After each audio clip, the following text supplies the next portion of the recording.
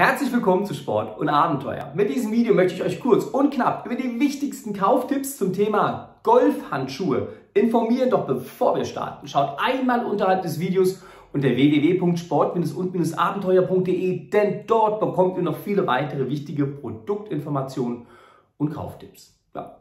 Und wir starten direkt mit Tipp Nummer 1. Achtet zunächst erstmal auf die Art des Handschuhs. Also was für einen Golfhandschuh wollt ihr haben?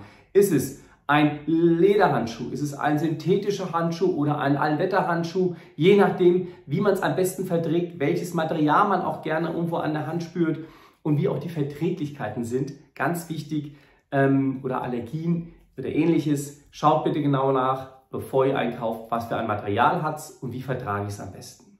Tipp Nummer zwei, natürlich ganz entscheidend auch die richtige Größe. Also er sollte vorne nicht zu viel Luft an den Fingerspitzen haben, er sollte sich aber auch noch gut runterdrücken lassen, so dass ich ein angenehmes Gefühl auf der Hand oder mit der Hand im Handschuh nachher habe, um entsprechend auch dieses Gefühl auf den Schläger zu übermitteln.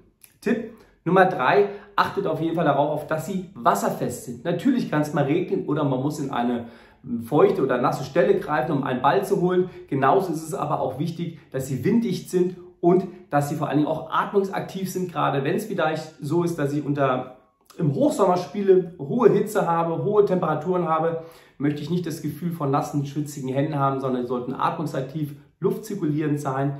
Dann macht es auch Spaß, über längere Zeit bei hoher Hitze zu spielen.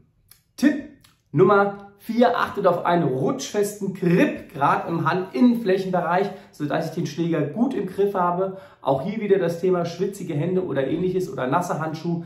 Grip ist wichtig, um ein gutes Gefühl von den Handschuhen auf den Schläger zu bekommen. Und Tipp Nummer 5, auch entscheidend, sie sollten waschbar sein. Wir hatten gerade das Thema schwitzige Hände oder ich muss irgendwo mal in einen schmutzigen Bereich greifen oder die Handschuhe werden ohnehin mal langsam nach und nach schmutzig. Also waschbar sollten sie sein, ohne dabei ihren Effekt nachher zu verlieren. Weitere Informationen bekommt ihr unter www.sport-und-abenteuer.de. Besucht uns bitte auf unserer YouTube-Seite unter Sport und Abenteuer, abonniert uns und schaut euch noch viele interessante Kaufratgeber-Videos an. Rund ums Golfen, rund um Sport, rund um Freizeit. Und jetzt wünsche ich euch mit euren Golfhandschuhen ein gutes Spiel. Wir hoffen, das heutige Video hat Ihnen gefallen. Zum Abonnieren des Kanals klicken Sie hier. Für weitere interessante Videos klicken Sie hier.